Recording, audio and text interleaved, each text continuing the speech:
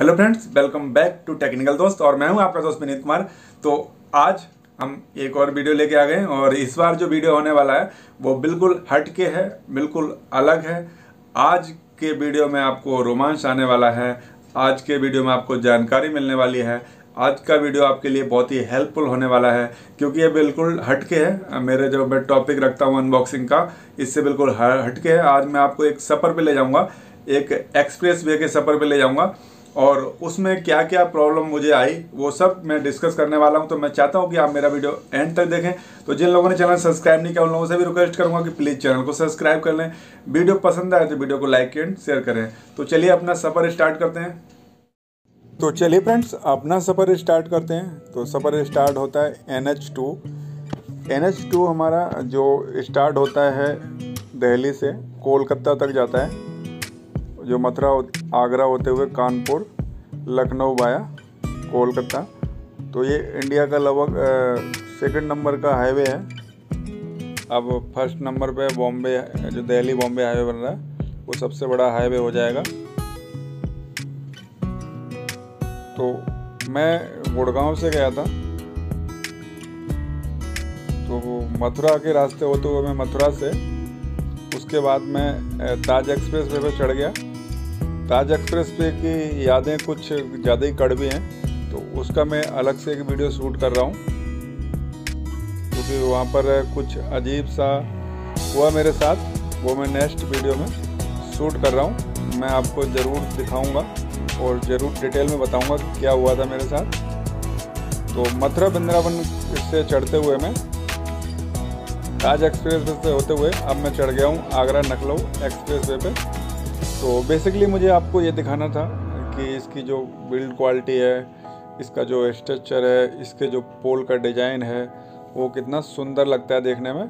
और आपको ऐसा फील होता है कि आप इंडिया की सड़कों पे नहीं चल रहे हैं, कहीं बाहर घूमने गए हैं, किसी और कंट्री की सड़कों पे चल रहे हैं। और काफ़ी अच्छी स्पीड आप 100 की स्पीड तक अलाउड है इस पर तो 100 की स्पीड में गाड़ी आप बहुत ही आसान तरीके से चला सकते हैं। और इस समय ये बिल्कुल खाली मिलेगा। ज़्यादा ट्रैफ़िक नहीं रहता है। आप देख सकते हैं, बहुत दूर दूर गाड़ियाँ चलती हैं। और स्टार्टिंग में लगभग 10-15 किलोमीटर के बाद पहला टोल आ जाता है इसको चढ़ने के बाद। और अगर आप आगरा से नखलऊ जाते हैं तो लगभग तीन तीन टोल पड़ते हैं इस पर भी। जैसे ताज एक्सप्रेस वे पर तीन टोल पड़ते हैं। तो इस पर भी मैं गया नहीं कभी, क्योंकि मुझे इटावा जाना होता है।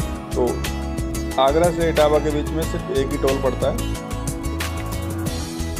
और यहाँ पर हमारा फास्ट टैग लगा हुआ है। तो ये एक नेशनल हाईवे की कैटेगरी में आता है। तो यहाँ पर फास्ट टैग काम करता है। Taj expressway FASTag काम नहीं करता है। वो मैं नेक्स्ट वीडियो में आपको बताऊँगा। बहुत ही अजीब है ना?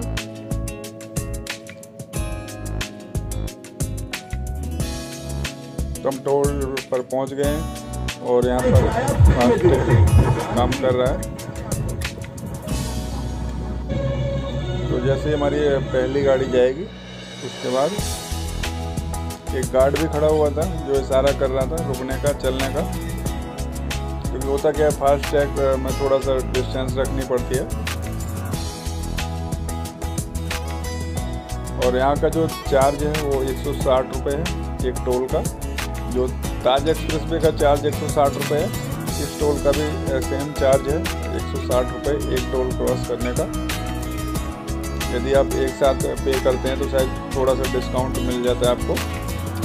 और, अब आगरा लखनऊ एक्सप्रेस वे पर मैं आपको ले चलता हूँ। आगे तो जैसे ही आप टोल क्रॉस करते हैं, आप पोल का जो इलेक्ट्रिक पोल है, उसका स्ट्रक्चर देखिए, आप दोनों तरफ़ झुका रखा है। बहुत ही अच्छा लुक आता है, बहुत ही अच्छा डिज़ाइन देखने में बहुत ही अच्छा लगता है।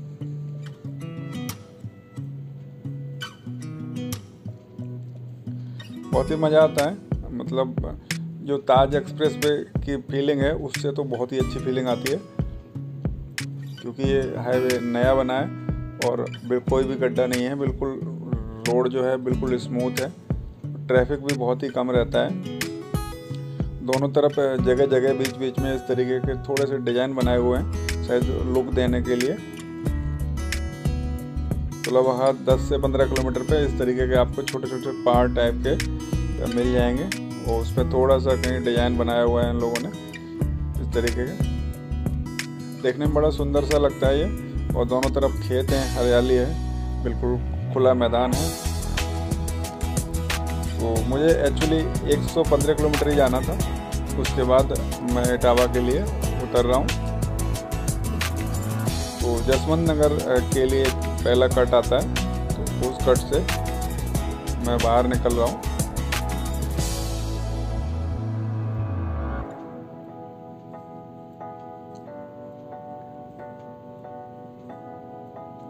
फास्टैग रहने से हमारा बहुत ही अच्छा टाइम बच जाता है।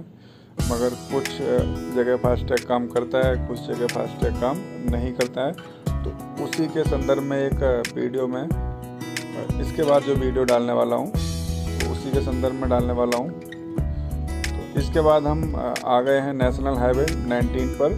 ये उसी हाईवे का पार्ट है एन एच टू का ही पार्ट है ये, आगरा से जो कानपुर के लिए जाता है, उसी का ये पार्ट है। दोबारा हम उसी पर आ गए हैं।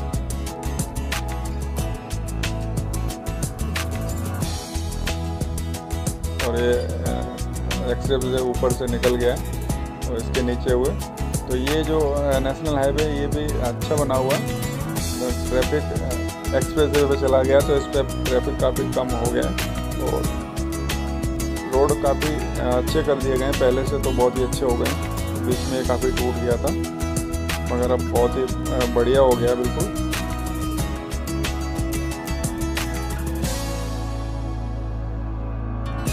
कैसा लगा मेरा वीडियो आशा करता हूँ आपको मेरा वीडियो पसंद आया होगा। वीडियो पसंद आया तो लाइक कर दीजिए शेयर कर दीजिए चैनल को सब्सक्राइब कर लीजिए। नेक्स्ट वीडियो फिर मिलता हूँ मैं आपसे। Thank you